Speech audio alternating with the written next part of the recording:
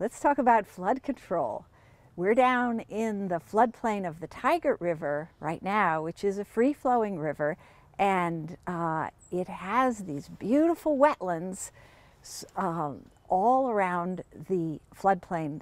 And you can kind of see behind me the chaos of different channels and down trees, and it just looks kind of like a messy landscape.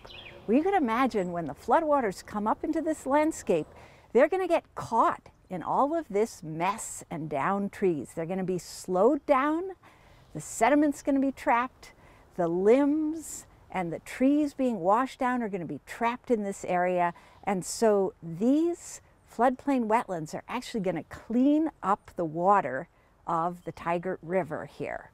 And this is an important benefit that they give to anybody living downstream of the wetlands. The water gets cleaner.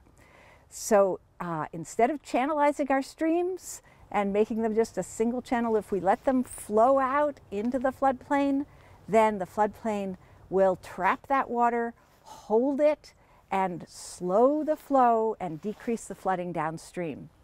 Uh, so there are several ways this happens. One, as I mentioned, is by the vegetation catching the water.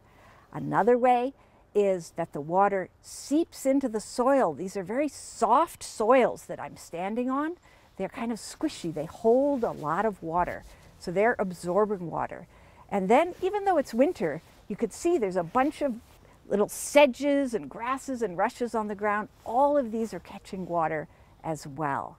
In addition to slowing down floods, wetlands also hold the water and release it slowly so that they're actually increasing the base flow to streams during times of drought.